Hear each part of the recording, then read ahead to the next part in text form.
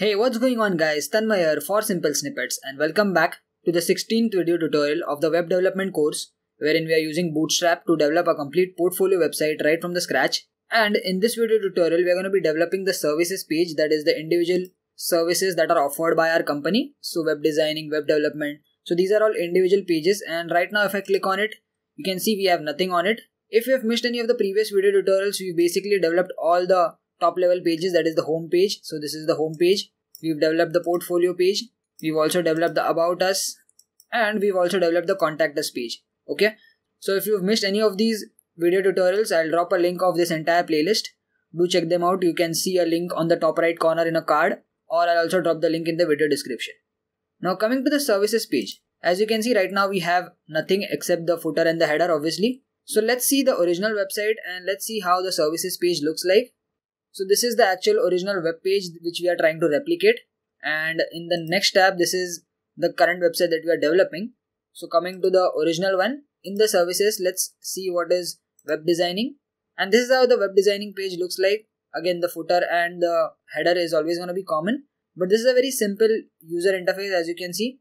We have some text on the left about web designing. So what does our company do as a web designing company and how is this service provided by us what are the different types of websites? So we have static website designing we have dynamic website designing and development and whatnot you know. So this is just the description about this service that we offer. And then we have some related images.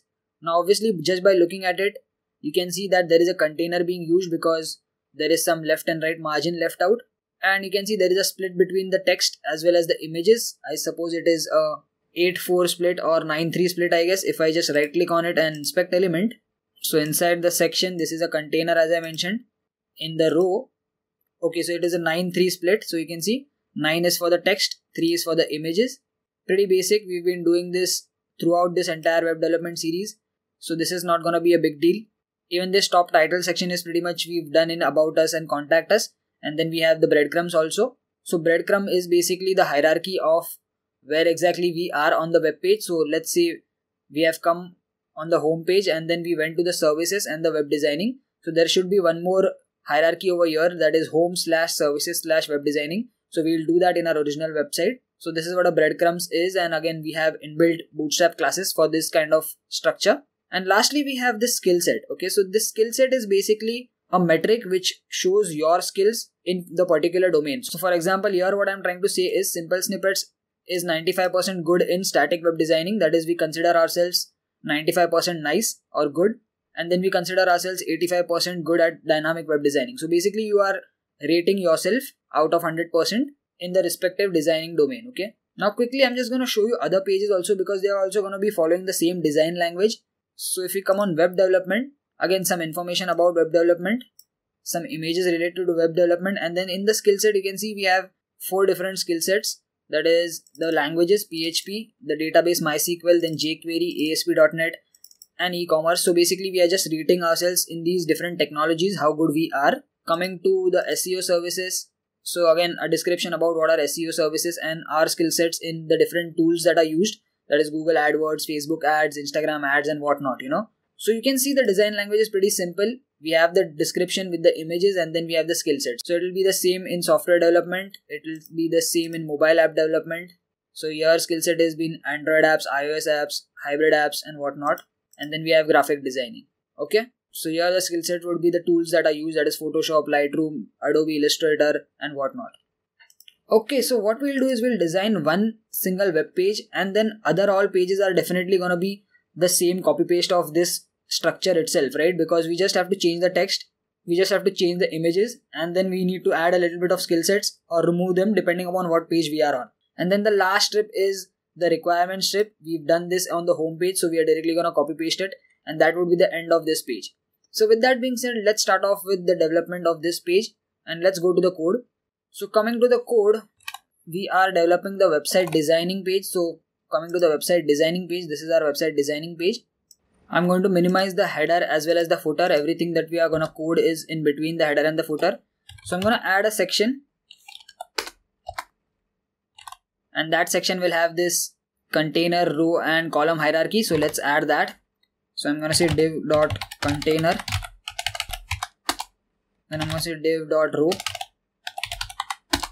and inside the row we have a split of 9 and 3 right so i'm going to say div dot col md9 and just gonna copy this. And i'm gonna say col md3 okay? So here we have some text. So let's right click on it and let's see what tag it is. So it's a h3 tag. Just copying this text. I'm gonna say h3 about web designing. Okay one thing we missed out is this top title section. So this title section we can directly copy paste from the about us also. You can see this is the same over here. So i'm gonna go to the about us page and i'm gonna copy this first section i'm gonna come to the web designing and paste it over here. Here i'm gonna add one more breadcrumb actually. And it is not active it is gonna be services okay? And this web page is basically web designing. So let's change the title also. So i'm gonna say web designing. Copy this text paste it over here also in the breadcrumbs part. You can see there is a class breadcrumb and breadcrumb item. So this is inbuilt bootstrap class and this is what it gives that styling. So let's see how our website now looks. So there you go you can see home slash services slash web designing. Now we can click on home to go back to the main home page. We have to change this about us to actually web designing. So this has to be web designing. There you go it got changed. And now we can add the text that is about web designing and the, all the text inside. So let's add this. I'm gonna copy this. In the p tag copy this and paste it again copy this text. By the way you can also generate dummy text if you want. To generate dummy text what you have to do is you have to type in the p tag. Inside that you just have to type in lorem. If you type in lorem you can see the emmet abbreviation comes. Just click on it or hit enter or hit tab and then dummy text will be generated. Now if you see our original website there you go. You can see the text is being added also. And i made a mistake. I am actually adding all this text in the first section itself so that is not supposed to be done i'm to cut the heading tag and all the paragraphs because this is the heading section or the title section actually. Just undo it. We need the h2 and not all the paragraphs. Okay so this has to be as it is. We have to add text to this section that is this white one. So I'm gonna minimize this section. This section is done. We'll add things over here. And there you go. You can see the text is added. Now in order to have this justified text you can see the text is coming in a proper format. So we have to say text hyphen justify. If we say this the text is properly justified. Right now you might not be able to understand. If i say text hyphen left it gets positioned to the left. If I say text hyphen right it gets positioned to the right. I can say text center. It will come to the center but we want justify. So this is what we're gonna go. Now you can see there is more text so I'm just gonna copy this text in paragraph tags. Again a lot of text to be copy pasted of course I'm gonna be sharing all these files all these images and code with you guys and I'll drop a link in the video description wherein you can get all this.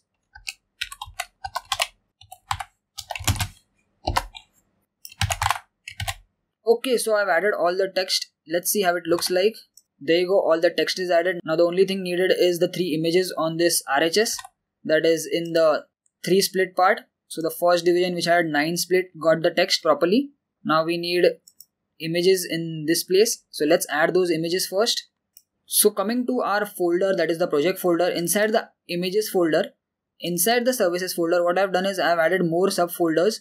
That is web design, web dev, software dev, SEO services, mobile dev and graphic design. So each of this folder is for individual web pages and right now we are inside web designing right. So inside web designing we have these three images. So web design 1, web design 2, web design 3. So obviously I'm going to be sharing all these images. You can also get it but in case you want to download it you can go to flaticons.com so the website name is flaticons.com you can simply search for the icon that you need i'm gonna say website mockup just type in whatever image you want to search. And there you go you can see a mockup comes up. You can just download this. Now there are different file types in which you can download this. You can download it as a png svg eps psd file and whatnot. You know i'm gonna go ahead and download it png in a 5 and 12 size pixel. That is the largest one. Just click on free download. These are some free icons which you can directly use. Right click on this icon cut it and put it into your project folder. I'm gonna rename it to design 4 and that's how you can use icons from this website. Coming to our web page coming to the code we need to add three images right? So i'm going to say img src in the images folder in the services in the web design folder. Let's add this current image that we just downloaded. And now if you see it is going to take up the entire space because it is a very large image. But what we want is we want it to be fluidic. We want it to be responsive. So we have to add a class of img hyphen fluid. And there you go now it is taking only the three spaces of that column. We can also add a little bit of padding. I'm going to say p3 p hyphen 3 sorry. There you go the padding is added. And i'm just going to copy this two more times and just change the name to 3 and 2 there you go the respective images have been added. I'm going to increase the padding a little bit on these images so that they become a little bit smaller coming to the code i'm to say p5 p okay on a cell phone it has to be p-3 but on a medium device or larger than medium it has to be pmd5 okay? Okay so there you go you can see. If i right click inspect element looks pretty neat right? Now obviously you can add a little bit more text and if you have less text then what you can do is you can remove one of the image if you want. So i'm gonna add a little bit more text over here. So there you go. You can see when I add a little bit of more text it looks nice and filled up. So now let's see what do we have on the original website. There you go. You can see the last thing that we need to add is the skill set section. Now coming to our code this top one more section is done. Let's add one more section that is the skill set section. Section inside that i'm pretty sure we have the container division and row hierarchy. I'm going to say div dot container. I'm going to say div dot row. And let's right click on it and let's see what we have over here. Inside the col md12 so we are saying div class col hyphen md hyphen 12 in fact actually we just can keep it directly 12 only because we only have two divisions and one h3 and they are always going to be stacked in this vertical form only. That is the first h3 then the second division and third division okay? So let's add this h3 also. Okay so the h3 is added. Now let's see what do we have over here. How do we get this cool styled bars which are showing the percentage? So we have individual divisions for this and we've given it a class of bar which means that this is a horizontal bar and we have added some custom styling in the css and we've also added some inline style. So i'm just going to copy paste this and paste it into our code and then we'll try to analyze what we have over here. Okay so i've added the division with the class bar with some padding and margin and the background color as green. And I've also given it a width of 95% okay? So let's see how it looks like on our web page coming to our website. So there you go. Right now it is already added but you can see we don't have those border radius curves to this and we don't have the styling. That is the color as white. And that is because we still have to add custom styling to this bar class. So let's go to our custom css scroll down. Let's add this class over here. I'm to say color is going to be white. Font weight is going to be 600 which is semi bold font size is going to be 1.1 rem so there you go you can see white color and the size also increased. We need to add the border radius. So i'm going to say border hyphen radius. Let's make it 17 pixel. And there you go you can see nice border radius is being added. We can also add a border of 1 pixel solid slate gray. So you can see a border is also added. We can make it 2 pixel to make it a little darker there you go. Now it looks pretty neat right? Comparing it with the original one it looks pretty much similar. Here the border is a little sharp and here it is a little bolder because it is 2 pixel and it is a light color. I can reduce it to 1 pixel and I can change the color to a little darker color. There you go. Looks pretty much the same right? Now this entire division is taking 95% of the actual size because we have given it a width of 95% So this division is taking 95% of col hyphen 12. So if you right click on it, if you see this is the entire column and 95% is this much and 85% is this much. Okay. So you can see the difference, right? 85 and 95. That's because we've statically given the values. And this is pretty much our web designing page. You can add a little bit of padding over here. You can see or a margin. So let's add a little bit of margin. So the breadcrumb section is this top one which ends over here. Then we have another section. Inside that we have a container. I'm gonna say mt hyphen 3. There you go. You can see margin is added.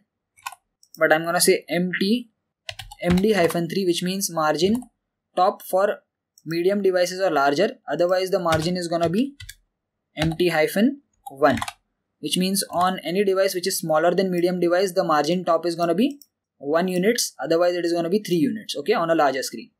So i hope you know how to use this dynamic padding and dynamic margin. I have a dedicated video in this playlist wherein i have taught you how to use this dynamic padding and margin which changes its sizes depending upon what screen size of device you are on. So yeah this was the complete web designing page. I'm gonna wrap it up over here but what you can do is you can go ahead and develop the other pages also because all the other pages are always going to be the same. So this is the page that we designed. Let's check it on a mobile phone. There you go. This is how it looks like on a mobile phone. Looks pretty neat right? And then coming back to the desktop size. Now going to our original website what i want you guys to do is i want you guys to develop all the other web pages because all of them are pretty much the same just that we have to add a little bit of more divisions over here with different colors.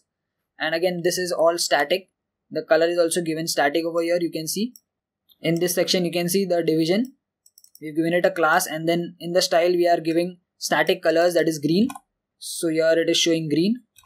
Here we've given purple so it is showing purple and the width is also static. So all other web pages also follow the similar design hierarchy and pattern. You just need to change the text you just need to add some dummy text and some different images and that's about it. The last section is left out over here in our website. We did not develop it so let's copy it from the home page so coming to the home page that is default.html. So this is that requirement section. Just copy this and go to the web designing part. Above the footer and below the last section just paste it and there you go you can see we got this section. So this was developed in the home page itself so we just need to copy paste it. And yeah that's about it. Our complete service page that is the web designing page is ready. All the other pages are gonna be the same so I'm not gonna make a separate video tutorial for all these pages in the next video tutorial i'm just going to copy paste all the code of this web page into these web pages and make the text and image changes. That's about it. And then i'll directly show you the code obviously. And yeah that's it for this video guys. I'm going to wrap it up over here. We are pretty much completed with our entire website development. And the next thing that comes is how you can make this website live on a live server. So we'll see that as we move ahead in this series. So thanks for watching guys. If you like this video give it a thumbs up. Let me know in the comments how this video was and I'll see you guys in the next video. Peace.